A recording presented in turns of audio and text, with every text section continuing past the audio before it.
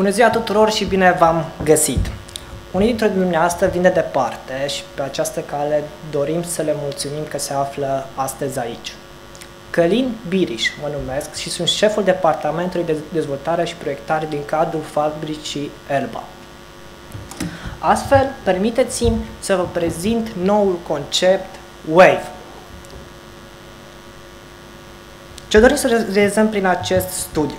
Dorim să realizăm un sistem de iluminat accesibil care să aibă o eficiență cât mai ridicată și, bineînțeles, să fie realizat prin tehnologie ecologică. În cele ce urmează, colegul meu Costel vă va prezenta atât partea de design cât și partea de simulări pe care le-am făcut. Costel?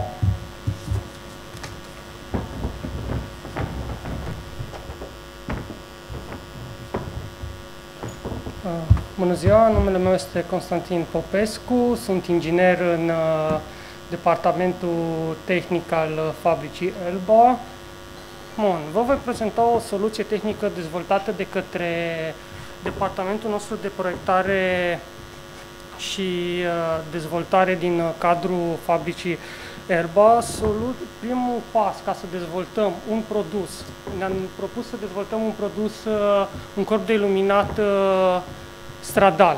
Primul pas pe care l-am făcut, am, am considerat noi să luăm, să ne gândim din ce material dorim să-l facem și ce tehnologie să aplicăm uh, în asta. Ne-am gândit la trei soluții. Fix on molding, uh, un material cu un transfer termic, uh, ne-am gândit primul rând la transferul termic, un material cu transfer termic destul de bun pentru o injecție, dar nu, ave, nu este foarte greu de fabricat, să-l punem în partea de fabricat, uh, un material compozit uh, care nu are un transfer termic uh, foarte, foarte bun, dar uh, este un material ieftin, ușor de procurat și ușor de lucrat cu el.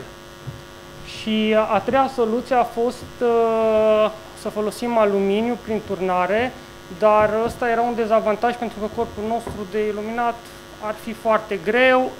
Dezavantaj, un avantaj ar fi fost că am avea un transfer termic foarte, foarte bun. Primul pas în dezvoltarea acestui produs a fost să realizăm o schiță. După ce am realizat această schiță, ne-am gândit din start ce trebuie să facem să funcționeze asta. Trebuie, în primul rând, să aibă un transfer termic foarte bun, să avem și un design și, și tot. Și da, primul pas. Ca să putem să facem aceasta, ne-am gândit să facem o simulare termică. Pentru simularea termică care am dorit să o facem, primul și primul lucru a fost să facem să ne definim o schiță cum vrem să arate produsul nostru, să facem o discretizare cu metoda elementului finit, cum se poate observa, uh, această discretizare are peste 1.500.000 de elemente și rezultă o simulare destul, destul de uh, de bună și uh, niște rezultate foarte aproape de realitate. Uh, a urmat, uh, scuzați, a urmat pe urmă să facem uh, simularea numerică. Simularea numerică a fost uh, un transfer termic prin conducție și convecție liberă. Exact ce avem afară, pe stradă, tot. Am luat trei cazuri. Corpul nostru de iluminat în cazul numărul 3, am pus un modul LED cu o putere disipată de 34,4 W. Ce este acum pe piață? Ce putem să găsim noi acum pe piață? Temperatura maximă din simulare ne-a dat că avem 130 de grade, aia ce înseamnă că la ora actuală riscăm să ardă LED-ul sau să topească zona aia de acolo, deci să nu funcționeze. Și ce vrem noi să vrem? Noi, de, noi am considerat după aia, la pasul numărul 2, un set de imaginea numărul 2, am spus dacă am avea puterea disipată a LED-ului să fie cu 25% mai mică decât uh, al treilea caz, asta însemnând că temperatura ar scădea, dar să avem același flux luminos. Noi ne dorim să ajungem momentan la un flux luminos de 5.000 de lumeni. Uh, asta e o provocare pentru partenerii sau pentru producătorii de LED-uri dacă ar putea să ajungă să scadă puterea disipată și să mențină acest flux luminos. Iar ne-am propus și ne-am gândit că în următorii ani, cam în aproximativ 50 ani, uh, aceeași, pentru același flux luminos, uh, ca să putem să avem un design, poate mai putem să recuperăm din material, să facem uh, produsul nostru mult mai ușor, mai flexibil, mai cu să scădem prețurile, am dorit să avem de la producătorii noștri de LED-uri un LED la jumătatea puterii din ziua de azi, dar uh, să păstrăm totuși tot acel flux luminos de care ne batem noi. Aici este o curbă în care ne arată ce înseamnă acea temperatură maximă în spatele LED-ului unde se, se încinde. Asta nimeni nu și-a pus problema. Adică s-au pus foarte mult și asta e problema. Se ard LED-urile aproape tot timpul. Aici partea de arhitectură, când faceți, faceți un corp, uh, desenați un corp, un design la el tot, dar v-ați gândit vreodată cum transferă căldură? Nu, nu știu, cred că v-ați gândit foarte puțin și acolo s-ar putea să, să nu puneți nervurile sau o anumită chestie, vreți o anumită lumină, niște flux luminoși, dar niciodată nu iasă cu realitatea din fabrică, din fabricație, din proiectare. Noi ne gândim la chestiile astea în continuare și aici am pus, acolo unde se vede sus, sunt 130 de grade la ora actuală pentru un modul cu 4 LED-uri și dacă tot scădem din procente și ajungem la jumătatea lui sau la 25% sau la 40% din el, se vede că temperatura scade, ceea ce ne va ajuta pe viitor. Chestia asta să folosim poate același LED, dar cu un flux mai mare. Uh, în partea de aici este prezentată cum am montat noi cele patru LED-uri pe produsul nostru Wave, cum l-am botezat. Uh, aceste LED-uri uh, au o eficiență la ora actuală de 156 de lumeni pe watt, un flux luminos de 5000.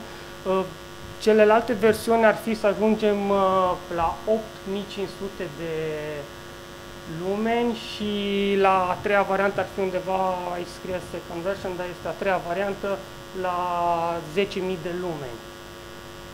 Uh, totodată, aici ne-am gândit, este cum este dispus acest uh, produs pe stâlp, afară, ne-am gândit aici un sistem de autocurățare, adică când plouă afară, se știe din start. Dacă se pune praf pe el, praful ce face? Se cimentează și este cel mai bun, este unul dintre cei mai buni izolator cimentul. Deci izolează și ține căldura acolo. Și noi ne-am gândit și la chestia asta, de aia am dat o formă mai deosebită și ne-am gândit și apa cum să curgă pe în așa fel încât să-l să-l spele și să nu rămână praf, să nu rămână mizerie, transferul să fie tot timpul făcut bine în partea în natură. Bineînțeles, unii o să spun acum, bun, îl folosim în deșert. Sincer să vă spun, gândim acum împreună cu departamentul și soluția asta și asta cred că ar fi cel mai ok să ne gândim cum s-ar curăța un uh, corp uh, de iluminat în deșert. Asta ar fi cel mai, cel mai bun. Și într-un final, după ce am făcut toate calculele, am ajuns, am ajuns la designul acestui corp. Uh, corpul nostru de iluminat care va produce 5.000 de lumeni și sperăm să fie un corp foarte ieftin, să, să fie utilizat uh, aproape oriunde și în locurile mai puțin accesibile, cu o greutate foarte, foarte mică. Uh,